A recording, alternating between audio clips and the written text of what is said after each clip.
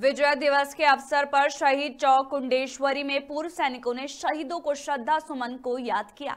विजय दिवस के अवसर पर पुलिस अधीक्षक अभय सिंह और सीओ वंदना वर्मा मौजूद रही। अध्यक्ष कैप्टन बच्चन सिंह नेगी ने कहा, आज का दिन हमारे सैनिकों के लिए गौरव का दिन है। इस दिन हमेशा देश के वीर सैनिकों ने अपने जीवन का बलिदान कर दिया था।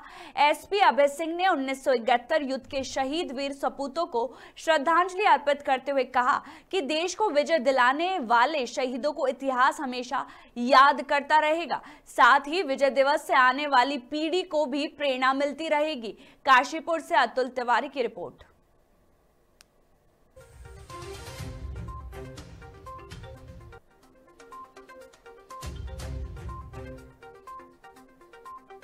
देखिए आज 1971 बाद 16 दिसंबर को हमारी भारतीय फौज जीत कर और देश को एक गौरवशाली पन्ना जोड़ा था देश के इतिहास में।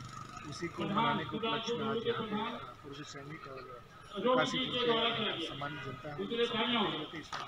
पुलिस परिवार भी इकट्ठा हुआ था। विजय दिवस की दिवस की पूरे भारतवर्ष को हार्दिक बधाई या ऐसा युद्ध है जो आने वाली पीढ़ियों को भी सदा सर्वदा के लिए प्रेरणा देता रहेगा ये अपने विशेष कौशल के लिए प्लानिंग के लिए स्ट्रेटजी और टेक्निक्स के साथ साथ जो रणनीतिक जीत दी है कहीं ना कहीं आने वाली पीढ़ियों को भी हर तरह के समय प्रेरणा देता रहेगा।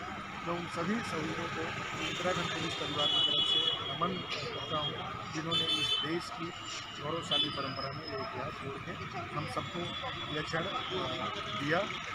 एक बार पुनः सभी को विजय दिवस की हार्दिक विजय दिवस हमारे हिंदुस्तान के लिए एक बहुत ही स्वर्णिम दिन है।